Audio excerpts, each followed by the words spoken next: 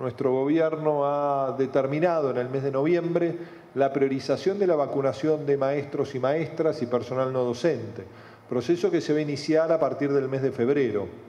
Esta semana, con los ministros y ministras de las 24 jurisdicciones educativas, vamos a terminar de definir cómo va a ser el orden de vacunación hacia adentro de la población de nuestros docentes, ¿no? para poder, a partir de esa medida, eh, generar mayor intensidad en ciertos niveles o modalidades de nuestra escuela.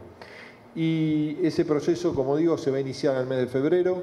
La logística, el proceso de aplicación, por supuesto, va a estar en cabeza de cada una de las jurisdicciones educativas y se vincula a dos desafíos que en las próximas semanas vamos a tener mayor claridad para poder informar. Por un lado, el desafío logístico de vacunar 1.400.000 personas en todo el territorio argentino, ¿no? docentes de todos los niveles educativos y personal no docente y directivos.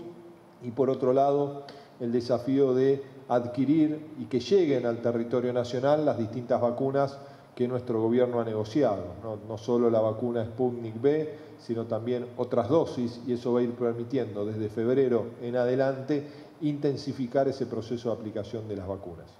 Es importante eh, reiterar nuestra mirada, nuestra decisión al respecto.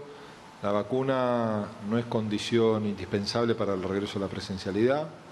Es posible un regreso a la presencialidad cuidada, segura, como lo comprobamos en el marco de las distintas experiencias a lo largo del 2020, como también lo ha demostrado otras experiencias en otros rincones del mundo. Eso ha sido fortalecido también por la evidencia que se ha construido a lo largo de estos 11, casi 12 meses de la pandemia en términos globales. Eh, hoy, por supuesto, en todos los ámbitos de la toma de decisión en el marco del COVID-19 tenemos información de la que carecíamos en el mes de marzo del año pasado. Y eso también implica ¿no? decisiones que permiten fortalecer cada uno de los avances que se pueden dar en el marco de las políticas públicas y la escuela no está exenta.